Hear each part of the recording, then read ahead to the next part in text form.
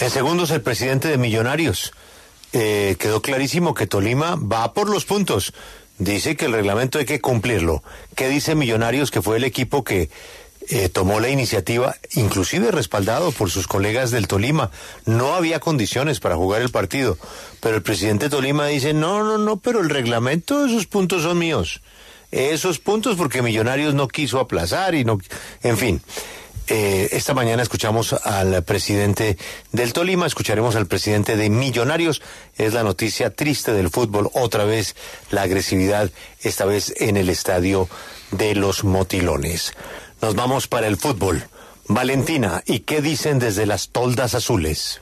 Pues Julio, precisamente para conocer la posición de Millonarios, el club pues claramente más afectado con la agresión a su jugador Daniel Cataño y no solamente a su jugador en los actos protocolares, pues ya después de los actos protocolares del partido, sino también al bus de la policía que los transportaba donde un jugador Juan Pablo Vargas fue herido. Por eso nos encontramos a esta hora con Enrique Camacho, presidente de Millonarios, para conocer un poco su posición al respecto. Enrique, muchas gracias por estar con nosotros hoy y preguntarle cómo vivió esto y qué opina de todo lo y de las declaraciones ya bastante conocidas del presidente César Camargo. Bueno, muy buenos días. ¿Cómo están ustedes? No, realmente esta es una situación de esas que uno eh, definitivamente no puede aceptar que ocurra en el fútbol. Nosotros nos presentamos al partido, el partido se iba a iniciar. El ambiente está un poco caldeado con algunas agresiones verbales contra, contra el jugador Cataño por, por lo que había perdido un penalti en una final contra Nacional hace un tiempo y eso no se le perdonaba. Pero no más de allá, sucedía la, la situación hasta que de pronto invade la cancha un hincha, agrede al jugador eh, forma muy, muy, muy, muy desagradable eh, y se presenta una situación donde naturalmente los jugadores se solidarizan con su compañero eh, y además se considera que no hay esas garantías de seguridad con las que había iniciado el partido pues se rompieron por lo que sucedió el evento y el partido no no, no debería continuar, no debería iniciarse por esa razón de violencia que se expresó de esa manera en el estadio y además con los caldeados que estaban los ánimos. Por eso lo hablé con el comandante de la policía, con el árbitro y le expliqué que no se podía darle seguridad a los jugadores y por lo tanto Millonarios rechazaba el hecho y no iba a disputar el partido en esas condiciones. Agradecemos además la solidaridad que tuvo el capitán del Tolima, quien también dijo que en esas circunstancias no jugaría y por esa razón el partido no se pudo llevar a cabo eh, lamentablemente. Pero los hechos de violencia son inaceptables en el fútbol y uno no puede en ese sentido ser blando al respecto. Sí, yo, yo soy de los que piensa que Millonarios hizo bien y que hay que sentar un precedente en, en una situación como esta.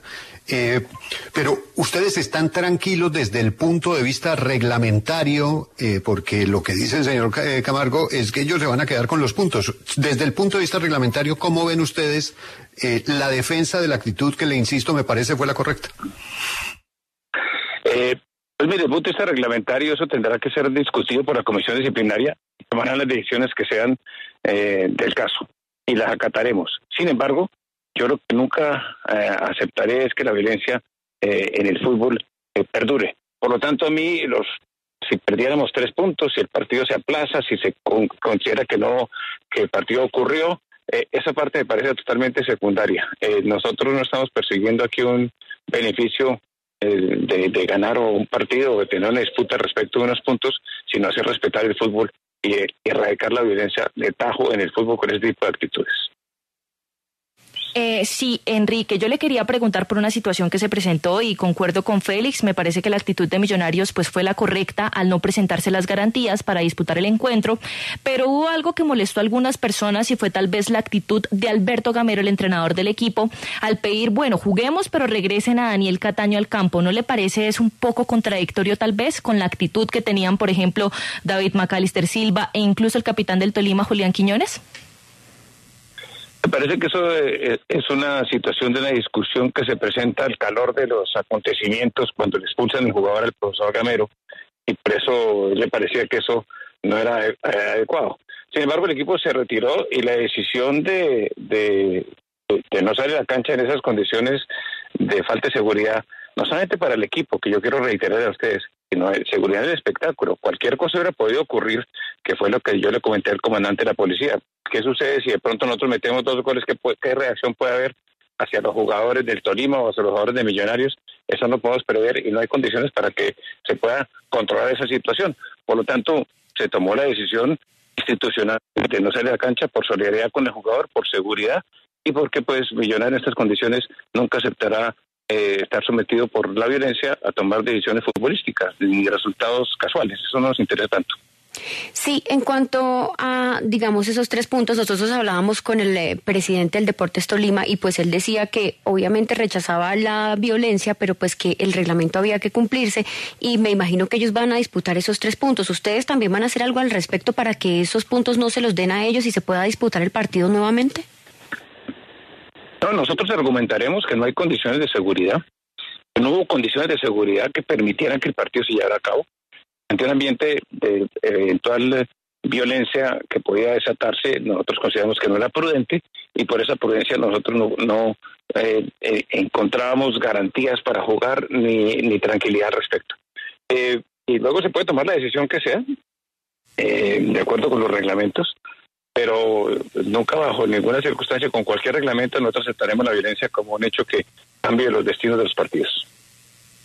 Enrique, yo le quería preguntar por un tema y es evidente que va a haber alguna sanción para el equipo del Deportes Tolima y seguramente para la plaza. ¿Cuál cree usted que debería ser esa sanción y pues si ustedes van a abogar precisamente para que sea una dura sanción para la hinchada del Deportes Tolima? Bueno, yo creo que a haber duras sanciones para cualquier hinchada, sea la del Tolima, la de Millonarios o cualquier equipo, cuando el comportamiento de esa hinchada no está acorde con el código de policía. En Colombia está prohibido agredir verbalmente, está prohibido agredir físicamente en los espectáculos deportivos. Y eso lo tenemos que hacer respetar. Luego, la sanción que se derive de ello debe ser ejemplarizante para que los hinchas entiendan que uno no puede hacer lo que quiera en un estadio de fútbol. Sus pasiones las puede lanzar al aire, pero nunca puede haber agresiones pues precisamente nos acompañaba el presidente de Millonarios, Enrique Camacho. Muchísimas gracias por estar con nosotros hoy en la W y nuevamente eh, expresar nuestra solidaridad con el Club Millonarios y con el jugador Daniel Cataño por todo lo sucedido. Muchas gracias a ustedes por esta oportunidad de conversar. Ah, un gran abrazo.